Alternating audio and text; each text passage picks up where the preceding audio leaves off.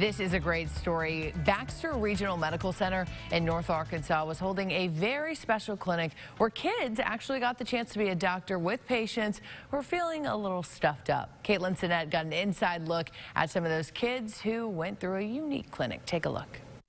As a kid, going to the doctors or the hospital can be an unbearable experience. But Baxter Regional Medical Center is working to change that with their teddy bear clinic at their annual health fair. They'll uh, pick out their bear, adopt one, then they'll stop by this table and they will get a um, birth certificate with their bear, and then they can go through the station.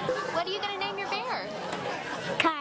Carter. You also have the option to bring in your own bear. Hospital employees say they hope this experience makes kids a little less scared to go to the doctor's office. It's kind of a group effort, and what it is, it's a chance for the kids to get to interact with the nurses and maybe make the hospital a little bit less of a scary place. If they have a sibling, um, they'll, they'll feel more comfortable when they come up. It also gives them an opportunity to try out a new career with their bare hands. Maybe getting future doctors here? Of course. That's why we're letting them dress up so they can just enjoy the whole experience. Kids get to patch up their bear's boo-boos. You want to put it on his foot? Okay, good job. Give them their shots and put them through an x-ray machine. Let's see if any broken bones. Is there any broken bones? No. All while wearing the proper attire, of course. And you get a stethoscope, too.